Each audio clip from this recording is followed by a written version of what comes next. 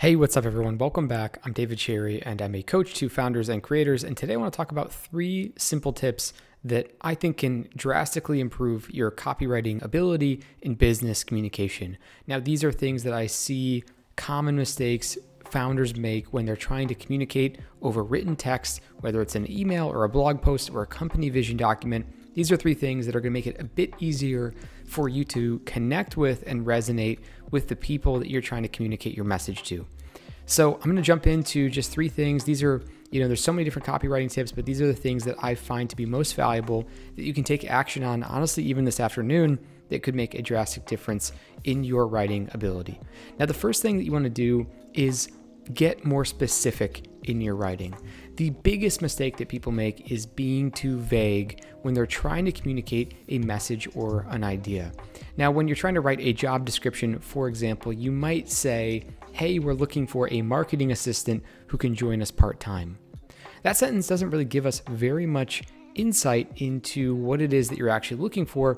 And because of that, the people who might be looking to receive that message to potentially apply to the position that you have aren't going to really pick up on that being the right fit for them specifically. So, a better sentence would be instead of saying we're looking for a junior marketing assistant for a part time hire, it might say we are a remote company of 10 people based in New York City, working in the fintech industry, looking for a junior marketing assistant who has three years' experience with TikTok and Instagram because we're looking to run our first campaigns on those two platforms. And we want someone who is just out of school who can help us with this strategy.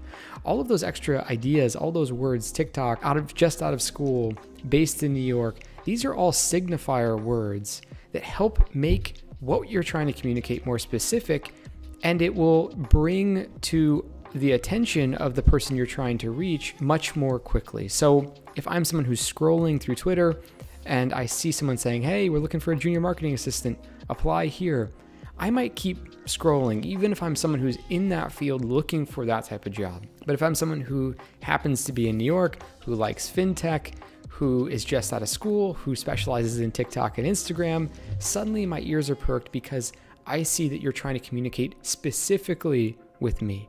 So the first tip is whatever language you're using, read back through the paragraph you've written and make it more specific. Take any vagueness out of it, anything that could be vague or just.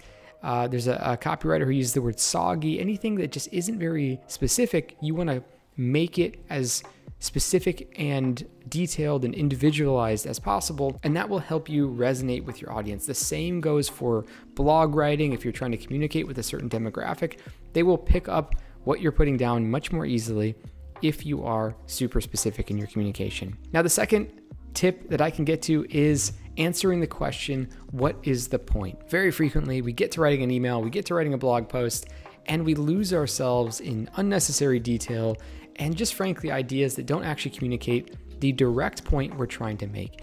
It might take the reader a long time of an email to say, well, what are they actually asking for? What, what is the point that they're trying to make? You know, so what? So after you've written something, not only are you going to make it more specific, so look for some vague words and how to crisp that up. The second thing you want to do is make sure the question is answered. So what? So what is the point? So what is this even about? The point about this video is that I want to help you communicate better through three simple tips. And the first two are getting more specific and answering the question, so what? You want to just get to the point, say it. When in doubt, try and remove as much content from your email, your blog post, etc. as possible and just get to the point. Just get to the thing that that person's looking for.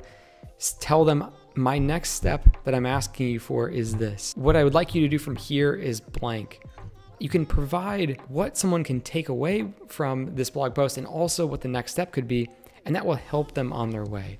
So always try to answer the question, so what, or the point is, and you can even directly say that in your text. So that's tip number two get to the point and make sure there is a clear point because frankly, I see it all the time where there's a super long email and it's like, what am I even reading?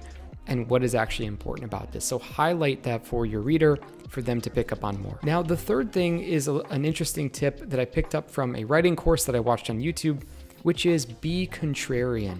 When we are reading something, it's really easy to start skipping ahead. It's really easy to start trying to skim through to look for the important information. And there's a few words that help people signal, hey, here is the interesting information. And those words are however, but, or instead. These create a bit of a plot twist in your reading. We were working on a marketing campaign and we thought that we were going to focus on Instagram until we realized, or, but we then noticed, or however, something happened and that changed where we went with the marketing campaign that we wanted to run with. These words that challenge the reader, that say, hey, something is about to be different, something is unexpected, they create a bit of an alertness in the person who's reading what you're writing, and it helps them tune, tune into, back to the previous point, what the actual point is going to be. So if you're just saying something that people always believe, it's kind of boring, it's bland, we don't want to really read it. But if you're saying something that challenges what the reader is expecting, they're going to pay more attention to what it is that you're writing. So anytime you can, you know, you can start by establishing what the status quo is for an industry, for what you're writing about, and then challenge that status quo and use these turning point phrases like however, but, until, and that will help the reader understand hey, here's some important information that I might not have expected that now I must pay attention to. And it'll just help them follow along and uh, follow through with actually reading and understanding what it is that you're trying to communicate.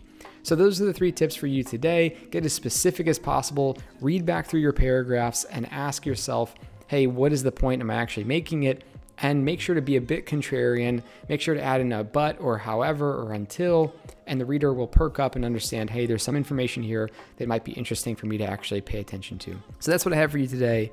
My last little bit of advice is there's a really great PDF called the One Sentence Persuasion Book.